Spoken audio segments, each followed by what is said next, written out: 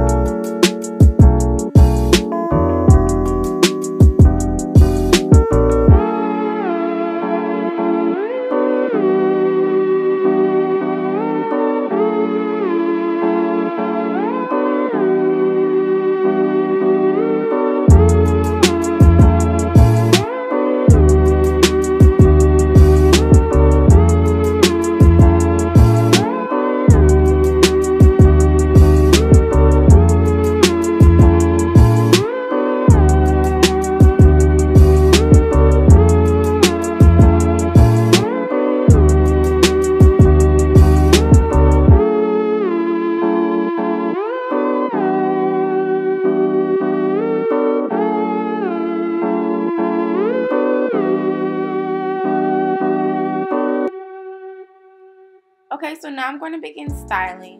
I'm just going to part the hair down the middle and then I'm going to make some baby hair.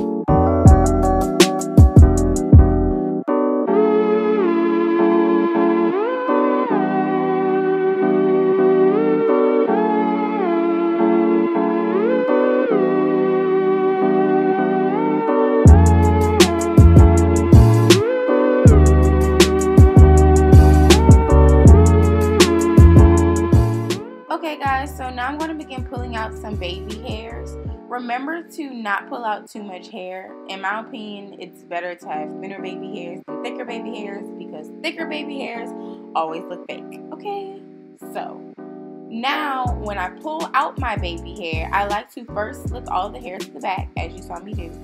And then I pull the hair out diagonally.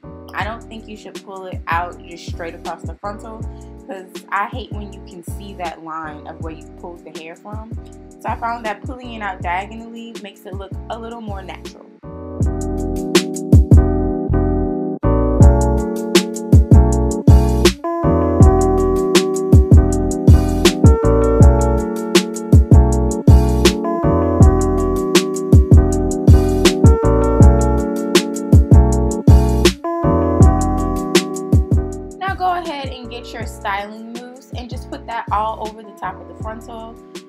I'm using a toothbrush here just to brush the hair back. But I'm going to use this mousse to help me um, mold the baby hairs and repeat and go through this process as much as you need to because they may not come out how you want them on its first try. It's something that you kind of have to play around with before you get it just right.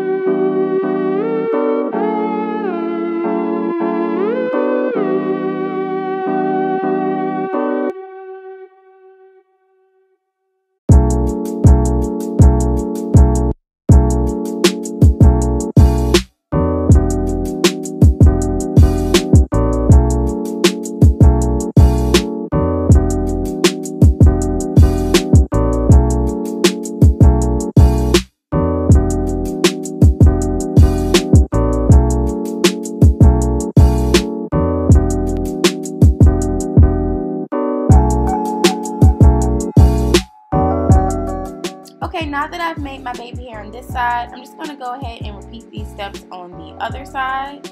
And remember, if you want to see a more in-depth detail on how I do my baby hairs, I'll leave the link to that video down below somewhere. Okay guys, I went ahead and repeated those steps on the other side.